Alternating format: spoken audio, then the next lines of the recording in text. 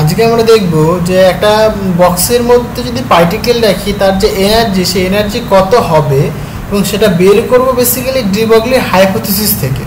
ঠিক আছে? মানে এটাও বেসিক্যালি একটা কি? কনসিকুয়েন্স অফ ডিবগলির কনসেপ্টস ওকে মানে ডিবগলি কনসেপ্টে একটা কনসিকুয়েন্স এটা ঠিক আছে? মানে ডিবগলি হাইপোথিসিস থেকে আমরা একটা পার্টিকেলে মানে এনার্জি বের করতে পারি। মানে একটা বক্সের মধ্যে একটা পার্টিকেল রয়েছে, তার এনার্জি আমরা বের করতে পারি। খুবই ইন্টারেস্টিং সো দেখা যাক ব্যাপারটা কেমন।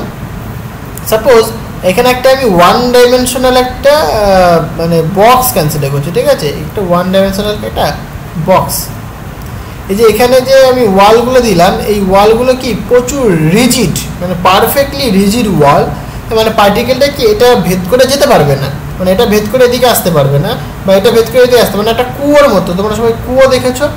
হ্যাঁ সেই কুয়োতে যেরকম মানে মাঝখানে যেখানে জল থাকে মনে করো এখানে পার্টিকেল রয়েছে, ঠিক আছে?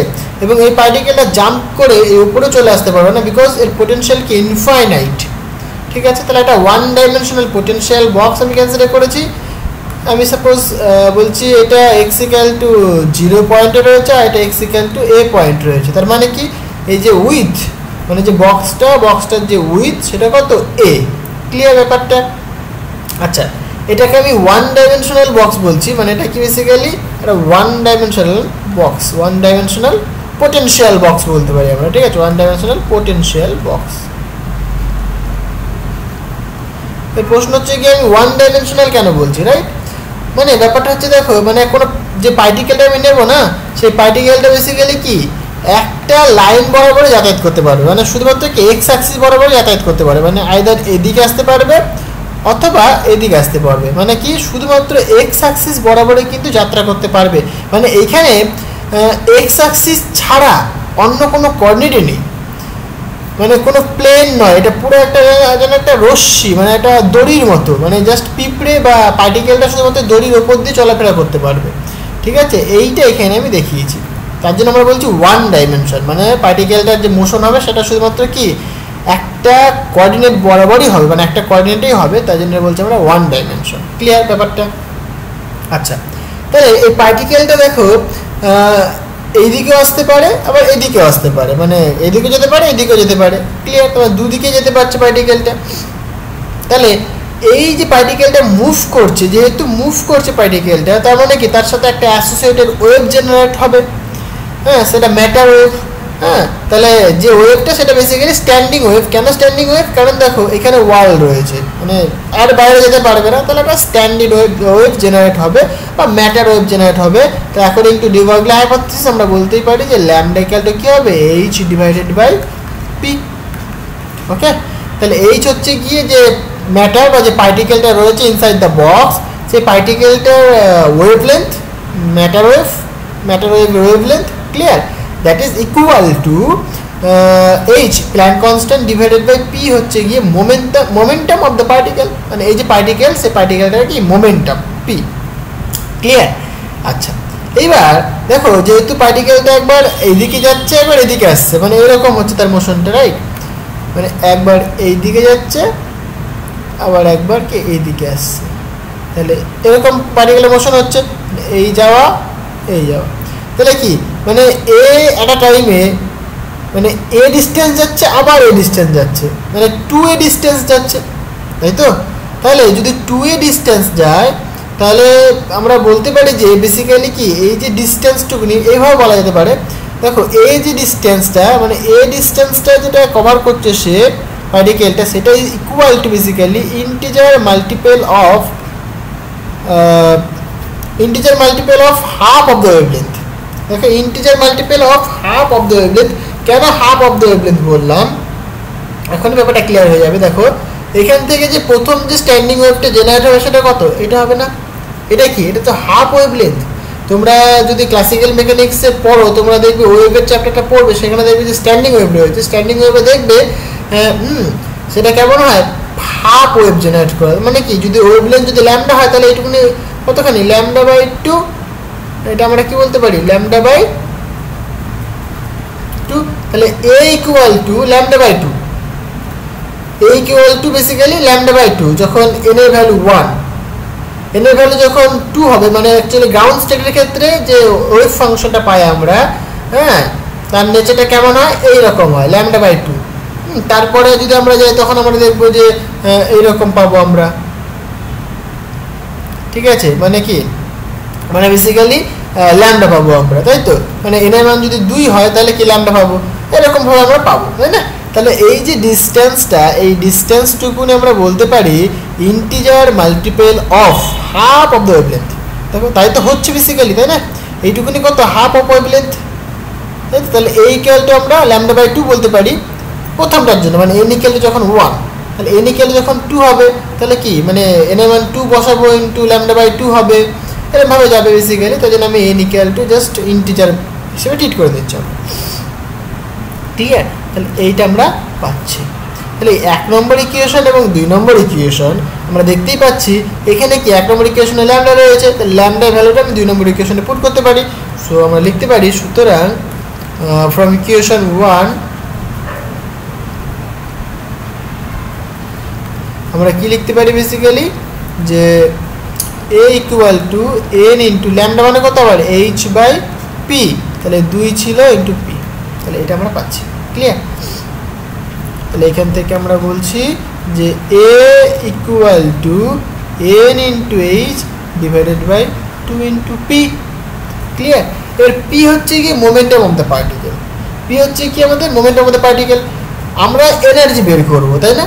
তাহলে আমরা এখান থেকে কি করতে পারি বেসিক্যালি দেখো এখান থেকে মোমেন্টামটা বের করে দিতে পারি, তাহলে পি কেন আমরা বলতে পারি এন এইচ ক H divided by two into A এটা আমরা বলতে পারি। ক্লিয়ার এবার আমরা সবাই জানি মোমেন্টাম আর যে এনার্জি তার মধ্যে একটা রিলেশন রয়েছে, সেটা কত হয়? সো উই নো বেসিক্যালি সেটা কাইনেটিক এনার্জি ইকুয়াল টু আমরা জানি হাফ এম ভি স্কোয়ার তাই তো?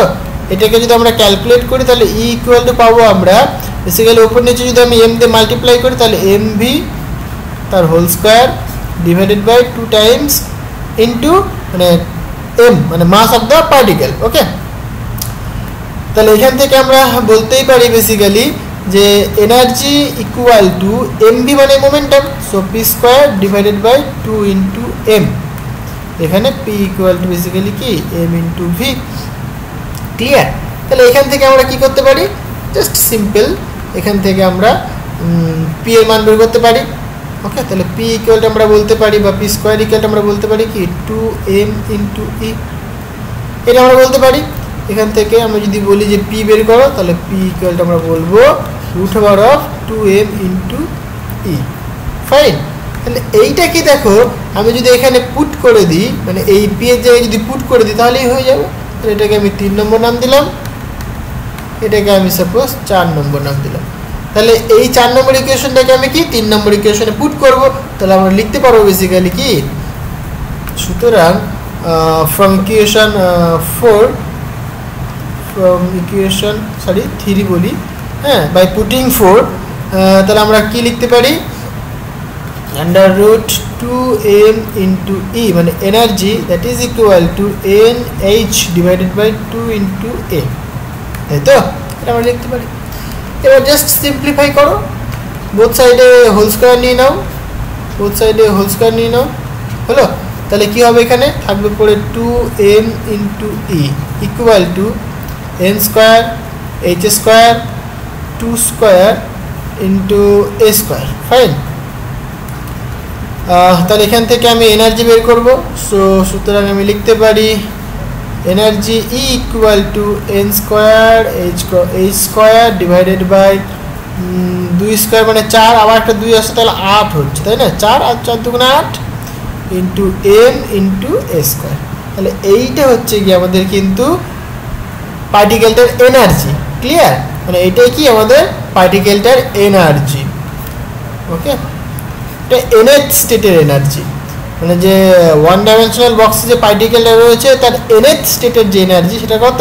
মানে এখানে আমি বলতে পারি basically E N equal to N square H square H square divided by eight M into square clear এবার এটাকে যদি আমি আরেকটুখানি সিম্পলিফাই করি মানে এরকম আমরা লিখতে পারি বেসিক্যালি আমরা যেটা জানি উই হ্যাভ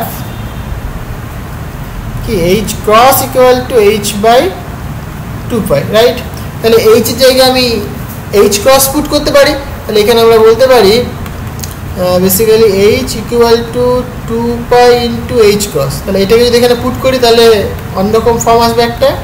তাহলে কি আসবে basically E N equal to basically দেখো এন স্কোয়ার এইচের জায়গায় আমি two pi H H cut বা এইচ ক্রস পুট করছি আমি, ঠিক আছে?